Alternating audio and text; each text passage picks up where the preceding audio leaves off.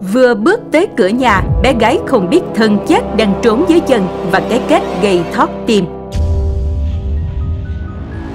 Một bé gái mới đây đã may mắn thoát được cú đớp tử thần của con rắn hổ mang, khiến bất kỳ ai xem video cũng không khỏi toát mồ hôi.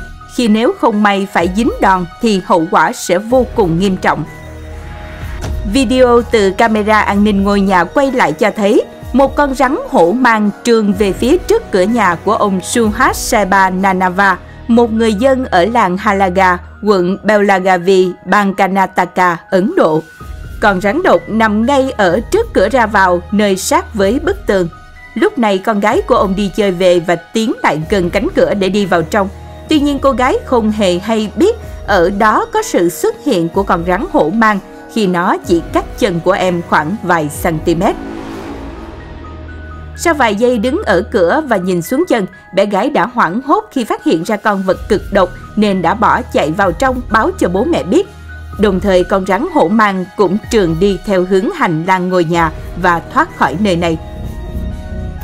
Mặc dù con rắn hổ mang trong video chưa thực sự quá to lớn khủng khiếp, tuy nhiên sự nguy hiểm của nó thì không hề tỷ lệ thuận một chút nào khi nó có thể đoạt mạng bé gái chỉ với một nhát cắn duy nhất.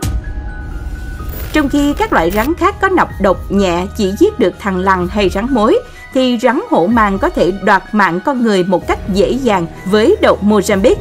Đặc biệt, rắn hổ mang có thể phun bách phát bách trúng khi mục tiêu cách nó khoảng 1,8 đến 2,4 mét với tốc độ tia chớp.